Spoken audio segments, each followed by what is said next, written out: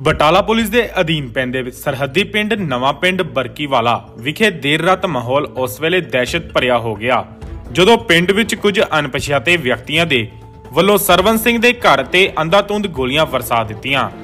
ਇਸ ਘਟਨਾ ਵਿੱਚ ਘਰ ਦਾ ਮਾਲਿਕ ਸਰਵਨ ਸਿੰਘ ਚਾਰ ਗੋਲੀਆਂ ਲੱਗਣ ਨਾਲ ਗੰਭੀਰ ਜ਼ਖਮੀ ਹੋ ਗਿਆ। ਇਹ ਸਾਰੀ ਘਟਨਾ ਘਰ ਵਿੱਚ ਲੱਗੇ ਅਤੇ ਪਿੰਡ ਦੇ ਗੁਰਦੁਆਰਾ ਸਾਹਿਬ ਵਿੱਚ ਲੱਗੇ ਸੀਸੀਟੀਵੀ ਕੈਮਰਿਆਂ ਵਿੱਚ ਵੀ ਕੈਦ ਹੋ ਗਈ।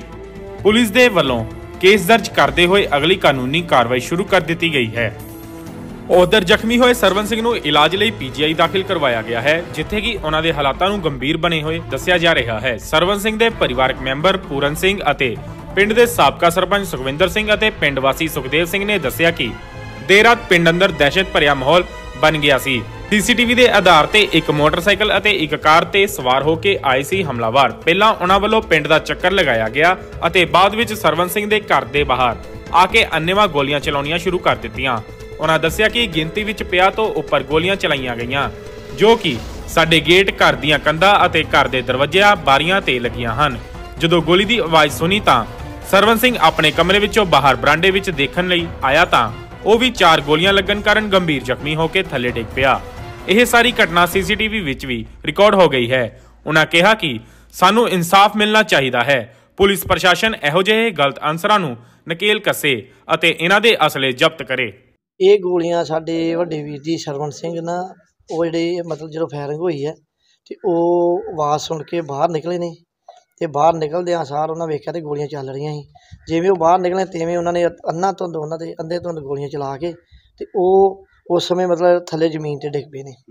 ਉਸ ਤੋਂ ਬਾਅਦ ਦੇ ਵਿੱਚ ਸਾਡਾ ਪਰਿਵਾਰ ਜਿਹੜਾ ਉਹ ਫਟਾਫਟ ਜਿਹੜਾ ਜੋ ਹੀ ਉਹ- ਉਹਨਾਂ ਨੇ ਉਹਨਾਂ ਨੂੰ ਚੁੱਕ ਕੇ ਤੇ ਉਹਨਾਂ ਨੂੰ ਇੱਥੋਂ ਸੀਰੀਅਸ ਜ਼ਿਆਦਾ ਸੀ ਉਹਨਾਂ ਨੇ ਉਹਨਾਂ ਨੂੰ ਇੱਥੇ ਪੀਜੀਆਈ ਚੰਡੀਗੜ੍ਹ ਰੈਫਰ ਕਰਤਾ ਵਾ। ਕਿੰਨੀਆਂ ਗੋਲੀਆਂ ਲੱਗੀਆਂ? ਗੋਲੀਆਂ ਨੂੰ ਲਗਭਗ ਚਾਰ ਲੱਗੀਆਂ ਵਾ। ਬਾਕੀ ਉਹ ਇਸ ਜਗ੍ਹਾ ਤੇ ਮਤਲਬ ਡਿੱਗੇ ਨੇ। ਉਹ ਜਗ੍ਹਾ ਜਿਹੜੀ ਆ ਉੱਥੇ ਤੁਹਾਨੂੰ ਵਿਖਾ ਦਿੰਦੇ ਆ ਜਿਹੜੀ ਜਗ੍ਹਾ ਤੋਂ ਮਤਲਬ ਉਹਨਾਂ ਨੇ ਗੋਲੀਆਂ ਮਾਰ ਕੇ ਬਾਅਦ ਚ ਡਿੱਗ ਪਿਆ ਥੱਲੇ। ਕਿੰਨੀਆਂ ਗੋਲੀਆਂ ਚਲਾਈਆਂ ਗਈਆਂ ਉਦਾਂ ਗੋਲੀਆਂ ਲਗਭਗ ਚੱਲੀਆਂ ਵਾ ਲਾ ਲਓ ਵੀ ਉਹਨਾਂ ਨੇ ਕੋਈ 60 70 ਫਾਇਰ ਕੀਤੇ ਨੇ ਲਗਾਤਾਰ ਨੇ। ਪਹਿਚਾਣ ਚ ਹੈਗੇ ਉਹ ਬੰਦੇ ਕੋਲ? ਬਿਲਕੁਲ ਨਹੀਂ ਉਹ ਬੰਦੇ ਨਾਲ ਸਾਡੀ ਕਿਸੇ ਦਾ ਕੋਈ ਇਹੋ ਜਿਹੀ ਰੰਜਿਸ਼ ਨਹੀਂ ਕੋਈ ਕਿਸੇ ਨਾਲ ਸਾਡਾ ਮਸਲਾ ਨਹੀਂ। ਬਸ ਆਪਣਾ ਇੱਧਰ ਰੋਜੀ ਰੋਟੀ ਕਮਾ ਕੇ ਖਾਣ ਦੇ ਹਾਂ। ਸਾਡੇ ਨਾਲ ਬਿਲਕੁਲ ਨਜਾਇਜ਼ ਹੋਈ ਹੈ ਕਿੰਨੇ ਕੋ ਬੰਦੇ ਹੀ ਗਿਣਤੀ ਚ ਬੰਦੇ ਲੱਗਦਾ? ਲਗਭਗ ਚਲੋ ਅਸੀਂ ਤਾਂ ਨਹੀਂ ਉਹ ਚੀਜ਼ ਨੂੰ ਧਿਆਨ ਦਾ ਵੀ ਲੋਕ ਦੱਸਦੇ ਆ ਕਿ ਜਦੋਂ ਉਹ ਗਏ ਆ ਬੰਦੇ ਕੋਈ ਦੱਸਦਾ 15 ਕੋਈ ਦੱਸਦਾ 16 ਬਸ ਉਹ ਸਾਨੂੰ ਤਾਂ ਫਿਰ ਬੰਦਾ ਆਪਣਾ ਜੋ ਡਿੱਗ ਪਿਆ ਸਾਨੂੰ ਤਾਂ ਕੋਈ ਸਮਝ ਨਹੀਂ ਲੱਗੀ। ਕਾਹਤੇ ਸਵਾਰ ਹੋ ਗਿਆ ਇਹ? ਉਹ ਗੱਡੀ ਗੱਡੀ ਤੇ ਦੱਸਦੇ ਮੋਟਰਸਾਈਕਲ ਤੇ ਦੱਸਦੇ ਇਦਾਂ ਇੱਥੇ ਇਸੇ ਤਰ੍ਹਾਂ ਆਈ ਗੱਡੀਆਂ ਮੋਟਰਸਾਈਕਲ ਤੇ ਆਈ ਤੇ ਕੋਈ ਚੀਕਦੇ ਆ ਜਦੋਂ ਆਵਾਜ਼ ਵੂਜ ਆਈ ਉਹ ਫਿਰ ਬਾਹਰ ਨਿਕਲੇ ਤੇ ਉਹ 'ਚ ਉਹਨਾਂ ਨੇ ਗੋਲੀਆਂ ਮਾਰੀਆਂ। ਦੇਖੋ ਪੁਲਿਸ ਨੂੰ ਕੋਈ ਖੋਲ ਬਰਾਮਦ ਹੋਇਆ ਮੌਕੇ ਤੇ ਹਾਂਜੀ ਹਾਂਜੀ ਪੁਲਿਸ ਨੂੰ ਸਾਰਾ ਕੁਝ ਹੋਇਆ ਪੁਲਿਸ ਆਈ ਹੈ ਮੌਕੇ ਤੇ ਉਹ ਉਹਨਾਂ ਨੇ ਆਣ ਕੇ ਵੇਖਿਆ ਉਦੋਂ ਨੂੰ ਆਪਾਂ ਬੰਦਾ ਆਪਣਾ ਉੱਥੋਂ ਚੁੱਕ ਕੇ ਖੜਿਆ। ਕਿੰਨੇ ਸੀਸੀਟੀਵੀ ਦੇ ਵਿੱਚ ਸਾਹਮਣੇ ਆਇਆ ਵਾ ਕਿ ਉਹ ਬੰਦੇ ਗੋਲੀਆਂ ਚਾਹੁੰਦੇ ਬਾਹਰ ਆਉਂਦੇ ਆ। ਤੇ ਉਹ ਚਲਾ ਕੇ ਉਹਨੂੰ ਅੰਦੇ ਤੋਂ ਮਾਰ ਕੇ 60 70 ਫੈਰ ਮਾਰ ਕੇ ਚਲੇ ਜਾਂਦੇ ਨੇ। ਜਿਹੜੀਆਂ ਗੋਲੀਆਂ ਚਲਾਈਆਂ ਉਹਨਾਂ ਨੇ ਤੁਹਾਡੇ ਇੱਥੇ ਘਰ ਚ ਕਿੱਥੇ ਕਿੱਥੇ ਵੱਜੀਆਂ ਨੇ? ਹਾਂਜੀ ਉਹ ਘਰ ਦੇ ਵਿੱਚ ਗੋਲੀਆਂ ਵੱਜੀਆਂ ਵਾ ਮਤਲਬ ਤੁਹਾਨੂੰ ਆਉ ਦਾ ਇਹ ਵੀ ਦੱਸ ਦਿੰਦੇ ਜਿੱਥੇ ਤੇ ਵੱਜੀਆਂ ਨੇ। ਕਿ ਉਹ ਸਾਡੇ ਗੇਟ ਤੋਂ ਗੇਟ ਦੇ ਵਿੱਚ ਵੀ ਗੋਲੀਆਂ ਵੱਜੀਆਂ ਨੇ ਦਾਤਰ ਵੱਜੇ ਨੇ। ਉਸ ਤੋਂ ਬਾਅਦ ਥੰਮ ਦੇ ਵਿੱਚ ਲੱਗੀਆਂ ਨੇ ਬਾਕੀ ਵੀਰ ਜੀ ਜਿੱਥੇ ਡਿੱਗੇ ਨੇ ਉੱਥੇ ਬਾਅਦ ਦੇ ਵਿੱਚ ਫਿਰ ਉਹ ਜ਼ਿਆਦਾ ਸੀਰੀਅਸ ਹੋ ਗਏ ਇਸ ਕਰਕੇ ਉਹਨਾਂ ਨੂੰ ਫਿਰ ਉੱਥੋਂ ਭੱਜ ਦੌੜ ਪੈ ਗਈ। ਬਾਕੀ ਇਹ ਆ ਵੀ ਤੁਸੀਂ ਸਾਨੂੰ ਇਨਸਾਫ ਦਿਵਾਓ ਜਿੱਦਾਂ ਹੁੰਦਾ ਸਾਨੂੰ ਇਨਸਾਫ ਮਿਲਣਾ ਚਾਹੀਦਾ। ਤਾਂ ਵੇਖੋ ਜੀ ਮੇਰਾ ਥੋੜਾ ਘਰ ਤੋਂ ਦੂਰ ਆ ਤੇ ਜਦੋਂ ਅਸੀਂ ਆਵਾਜ਼ ਸੁਣੀ ਆ ਗੋਲੀਆਂ ਦੀ ਰਾਤ ਮਤਲਬ ਉਦੋਂ ਅਸੀਂ ਬਾਹਰ ਨਿਕਲ ਕੇ ਵੇਖਿਆ ਤੇ ਸਾਡੇ ਲਾਗੇ ਇੱਕ ਵਿਆਹ ਤੇ ਵੀ ਡੀਜੇ ਵੱਜਦਾ ਸੀ ਉੱਥੇ ਵੀ ਮਤਲਬ ਬੰਬ ਬੰਬ ਚਲਾ ਰਹੇ ਸੀਗੇ। ਉਸ ਤੋਂ ਬਾਅਦ ਜਦੋਂ ਇਹਨਾਂ ਦਾ ਡਾਕਟਰ ਸਾਹਿਬ ਨੂੰ ਫੋਨ ਗਿਆ ਸਾਡੇ ਕੋਲ ਹੀ ਡਾਕਟਰ ਸਾਹਿਬ ਨੇ ਇਹਨਾਂ ਘਰ ਵਾਲਿਆਂ ਦੱਸਿਆ ਵੀ ਸਾਡੇ ਏਦਾਂ ਬੇਟੇ ਨੂੰ ਮਤਲਬ ਅਣਪਛਾਤੇ ਜਿਹੜੇ ਵਿਅਕਤੀ ਆ ਉਹ ਬਾਹਰੋਂ ਗਲੀ ਦੇ ਵਿੱਚੋਂ ਗੋਲੀਆਂ ਮਾਰ ਕੇ ਚਲੇ ਗਏ ਨੇ। ਤੇ ਜਦੋਂ ਮੌਕੇ ਤੇ ਮੈਂ ਨਹੀਂ ਪਹੁੰਚਿਆ ਡਾਕਟਰ ਸਾਹਿਬ ਜਾਂ ਹੋਰ ਵੀਰ ਪਹੁੰਚੇ ਨੇ ਉਹਨਾਂ ਨੇ ਆਣ ਕੇ ਉਹਦੀ ਹਾਲਤ ਨੂੰ ਵੇਖਦਿਆਂ ਆ ਫਿਰ ਉਹਨੂੰ ਬਟਾਲੇ ਲੈ ਕੇ ਗਏ ਨੇ ਤੇ ਬਟਾਲੇ ਵਾਲਿਆਂ ਅੱਗੇ ਅੰਮ੍ਰਿਤਸਰ ਰੈਫਰ ਕਰਤਾ। ਅੰਮ੍ਰਿਤਸਰ ਵਾਲਿਆਂ ਨੇ ਉਹਨਾਂ ਨੂੰ ਚੰਡੀਗੜ੍ਹ ਪੀਜੀਆਈ ਰੈਫਰ ਕਰਤਾ। ਕਿੰਨੀਆਂ ਕੋ ਗੋਲੀਆਂ ਉਸ ਵੇਲੇ ਚੱਲੀਆਂ ਹਨ ਗੋਲੀਆਂ ਜੀ 50 ਤੋਂ ਲੈ ਕੇ 70 ਦੇ ਕਰੀਬ ਮਤਲਬ ਵਿੱਚ ਵਿੱਚ ਗੋਲੀਆਂ ਚੱਲੀਆਂ ਨੇ। ਕਿੰਨੇ ਕੋ ਬੰਦੇ ਹੋਣਗੇ ਜਿਨ੍ਹਾਂ ਨੇ ਗੋਲੀਆਂ ਚਲਾਈਆਂ? ਬੰਦੇ ਵੇਖੋ ਜੋ ਸੀਸੀਟੀਵੀ ਕੈਮਰਿਆਂ ਦੇ ਵਿੱਚ ਜਿੱਦਾਂ ਗੁਰਦੁਆਰਾ ਸਾਹਿਬ ਤੋਂ ਵੀ ਕੱਢੇ ਨੇ ਇੱਕ ਗੱਡੀ ਆ ਦੋ ਮੋਟਰਸਾਈਕਲ ਨੇ। ਤਕਰੀਬਨ ਉਹ ਬੰਦੇ ਕੋਈ 15 ਤੋਂ 10 15 ਬੰਦੇ ਹੋਣਗੇ। ਕੋਈ ਪਹਿਚਾਣ ਚ ਆਇਆ ਉਹਨਾਂ ਦੇ ਵਿੱਚੋਂ? ਹੁਣ? ਨਹੀਂ ਕੋਈ ਪਹਿਚਾਣ ਨਹੀਂ ਰਾਤ ਕੋਈ 10 ਦੇ ਕਰੀਬ ਦਾ ਟਾਈਮ ਹੈ ਹੂੰ। ਉਸ ਵੇਲੇ ਕੋਈ ਪਛਾਣ ਦੇ ਵਿੱਚ ਨਹੀਂ ਹੈਗਾ। ਬਾਕੀ ਇਹਨਾਂ ਦੀ ਕਿਸੇ ਨਾਲ ਕੋਈ ਨਿੱਜੀ ਦੁਸ਼ਮਣੀ ਨਾ ਪਿੰਡ 'ਚ ਆ ਨਾ ਲਾਗੇ ਬੰਨੇ ਆ। ਇਹ ਪਰਿਵਾਰ ਜਿਹੜਾ ਬਹੁਤ ਸ਼ਰੀਫ ਪਰਿਵਾਰ ਆ। ਦੋ ਬੇਟੇ ਜਿਹੜੇ ਉਹ ਬਾਹਰ ਆਪਣੇ ਨੌਕਰੀ ਕਰਦੇ ਨੇ ਰੋਜੀ ਰੋਟੀ ਵਾਸਤੇ ਵਿਦੇਸ਼ਾਂ ਦੇ ਵਿੱਚ। ਇਹ ਵੀਰ ਆਪਣੇ ਘਰ ਦੇ ਆਣ ਕੇ ਮਾਲ ਡੰਗਰ ਤੇ ਘਰ ਦੇ ਆਪਣਾ ਜਿਹੜਾ ਕਾਰੋਬਾਰ ਚਲਾਉਂਦਾ। ਬਹੁਤ ਜ਼ਿਆਦਾ ਦਹਿਸ਼ਤ ਦੇ ਵਿੱਚ ਨੇ ਬੱਚੇ।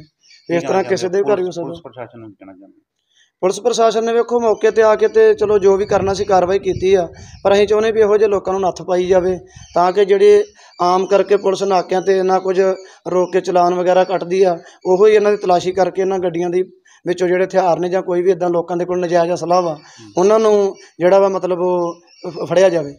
ਸੀਸੀਟੀਵੀ ਕੈਮਰੇ 'ਚ ਜਿੱਥੋਂ ਤੱਕ ਹੁਣ ਇਹਨਾਂ ਦੀ ਇੱਕ ਗੱਡੀ ਆ, ਤੇ ਇੱਕ ਮੋਟਰਸਾਈਕਲ ਸੀਗਾ, ਮੋਟਰਸਾਈਕਲ ਇਹਨਾਂ ਨੇ ਨਾ ਪਿੰਡ ਦੀ ਗਲੀ ਦੇ ਵਿੱਚੋਂ ਵੀ ਘੁਮਾ ਕੇ ਗਏ ਆ। ਤੇ ਉਸ ਤੋਂ ਬਾਅਦ ਜਦੋਂ ਇੱਥੇ ਆ ਕੇ ਗੇਟ ਖੜਕਾਉਂਦੇ ਆ ਤੇ ਮ- ਮਤਲਬ ਗੋਲੀ ਚਲਾਉਂਦੇ ਆ ਤੇ ਇਹਨਾਂ ਦੇ ਵੱਡੇ ਭਾਈ ਸਾਹਿਬ ਸਰਵਨ ਸਿੰਘ ਜੀ ਉਹ ਬਾਹਰ ਆਉਂਦੇ ਆ ਵੀ ਮੈਂ ਦੇਖਾਂ ਵੀ ਕੀ ਚੱਕਰ ਹੈ ਕੌਣ ਗੇਟ ਖੜਕਾ ਰਿਹਾ। ਉਹ ਨਾਲ ਦੀ ਨਾਲ ਹੀ ਮਤਲਬ ਉਹ ਫਾਇਰਿੰਗ ਸ਼ੁਰੂ ਕਰ ਦਿੰਦੇ। ਤੇ ਉਹ ਸਾਰਾ ਜਿਹੜਾ ਇਹਨਾਂ ਦੇ ਘਰ ਸੀਸੀਟੀਵੀ ਕੈਮਰਾ ਲੱਗਾ ਹੋਇਆ ਤੇ ਉਹਦੇ ਵਿੱਚ ਵੀ ਉਹ ਫਾਇਰਿੰਗ ਦੇ ਸਾਰੇ ਸ਼ਰਲੇ ਵੱਜਦੇ ਜਿੰਨੇ ਵੀ ਆ ਉਹ ਸਾਰੇ ਨਜ਼ਰ ਆ ਰਹੇ ਆ। ਉਹ ਭਾਈ ਸਾਹਿਬ ਫਿਰ ਡਿੱਗ ਪੈਂਦੇ ਆ ਤੇ ਉਹ ਫਿਰ ਕਹਿ ਦਿੰਦੇ ਵੀ ਆਪਣੇ ਬੱਚੇ ਨੂੰ ਚੁੱਕ ਕੇ ਪਿੱਛੇ ਅੰਦਰ ਲੈ ਜਾਓ। ਫਿਰ ਆਪ ਹੌਲੀ ਹੌਲੀ ਅੰਦਰ ਜਾ- ਜਾਂਦੇ ਉਸ ਤੋਂ ਬਾਅਦ ਮੇਰਾ ਲਾਗੀ ਘਰ ਆ। ਤੇ ਆਪਾਂ ਆਉਂਦੇ ਆ ਫਿਰ ਤੇ ਫਿਰ ਗੱਡੀ ਇਹਨਾਂ ਦੀ ਵੀਰ ਦੀ ਘਰੇ ਖੜੀ ਹੁੰਦੀ ਆ। ਉਹਨੂੰ ਲੈ ਕੇ ਜਾਂਦੇ ਆ ਮਾਹੌਲ ਕਿਸ ਤਰ੍ਹਾਂ ਦਾ ਹੈ? ਮਾਹੌਲ ਬਹੁਤ ਜ਼ਿਆਦਾ ਮਤਲਬ ਦਹਿਸ਼ਤਗਰਦ ਵਾਂਗੂ ਮਤਲਬ ਪਿੰਡ ਦੇ ਵਿੱਚ ਬਹੁਤ ਮਾਹੌਲ ਗਰਮ ਹੋਇਆ ਹੋਇਆ। ਤੇ ਮੇਰੀ? ਪ੍ਰਸ਼ਾਸਨ ਨੂੰ ਇਹੀ ਬੇਨਤੀ ਆ ਵੀ ਇਹਨਾਂ ਲੋਕਾਂ ਨੂੰ ਨੱਥ ਪਾਈ ਜਾਵੇ। ਇਹ ਨਵਾਂ ਪਿੰਡ ਥਾਣਾ ਕਿਲਾ ਲਾਲ ਸਿੰਘ ਦੇ ਵਿੱਚ ਹੈ ਜੀ ਬਰਕੀਵਾਲ ਪਿੰਡ। ਇਹਦੇ ਵਿੱਚ ਸਰਵਨ ਸਿੰਘ ਦੇ ਘਰ ਦੇ ਵਿੱਚ ਦੇਰ ਰਾਤ ਨੂੰ ਫਾਇਰਿੰਗ ਕੀਤੀ ਗਈ ਹੈ ਕੁਝ ਅਣਪਛਾਤੇ ਨੌਜਵਾਨਾਂ ਦੇ ਵੱਲੋਂ। ਤੇ ਜਿਸ ਵਿੱਚ ਸਰਵਨ ਸਿੰਘ ਦੇ ਘਰ ਦੀਆਂ ਦੀਵਾਰਾਂ ਤੇ ਤੇ ਸਰਵਨ ਸਿੰਘ ਦੀ ਬਾਡੀ ਤੇ ਉਹਦੇ ਵੀ ਫਾਇਰ ਲੱਗੇ ਨੇ। ਸਰਵਨ ਸਿੰਘ ਜਿਹੜਾ ਜੇਰੇ ਇਲਾਜ ਹੈ ਇਸ ਟਾਈਮ ਤੇ ਪੀਜੀਆਈ ਚੰਡੀਗੜ੍ਹ ਜੋ ਇਲਾਜ ਚੱਲ ਰਿਹਾ। ਤੇ ਸਰਵਨ ਸਿੰਘ ਦੀ ਵਾਈਫ ਦੇ ਬਿਆਨ ਲੈ ਕੇ ਅਨਨੋਨ ਜਿਹੜੇ ਹੈਗੇ ਨੇ ਦੋਸ਼ੀ ਉਹਨਾਂ ਦੇ ਖਿਲਾਫ 307 ਅਤੇ 400 307 ਆਈਪੀਸੀ 2559 ਆਰਮਸ ਐਕਟ ਤਹਿਤ ਕੇਸ ਰਜਿਸਟਰ ਕਰ ਲਿਆ ਗਿਆ ਹੈ। ਇਸ ਕੇਸ ਦੀ ਤਫਤੀਸ਼ ਡੀਐਸਪੀ ਫਤਿਹਗੜ੍ਹ ਚੂੜੀਆਂ ਤੇ ਐਸਐਚਓ ਕਿਲਾ ਲਾਲ ਸਿੰਘ ਉਹ ਕਰ ਰਹੇ ਨੇ। ਸਰ ਸੀਸੀਟੀਵੀ ਕੋਈ ਸਾਹਮਣੇ ਆਈ ਹੈ? ਹਾਂਜੀ ਇਹਦੇ ਵਿੱਚ ਉਹਨਾਂ ਦੇ ਜਿਨ੍ਹਾਂ ਦੇ ਸਰਵਨ ਸਿੰਘ ਦੇ ਘਰ ਦੇ ਵਿਹੜੇ ਦੇ ਵਿੱਚ ਹੀ ਇੱਕ ਸੀਸੀਟੀਵੀ ਕੈਮਰਾ ਲੱਗਾ ਹੋਇਆ ਤੇ ਇੱਕ ਬਾਹਰ ਗੁਰਦੁਆਰਾ ਸਾਹਿਬ ਦੇ ਵਿੱਚ ਵੀ ਕੈਮਰਾ ਲੱਗਾ ਜਿਹਦੇ ਵਿੱਚ ਦੋਸ਼ੀਆਂ ਦੇ ਆਉਣ ਦੀ ਜਿਹੜੀ ਆ ਉਹ ਸਾਰੀ ਇਮੇਜ ਰਿਕਾਰਡ ਹੋਈ ਹੈ।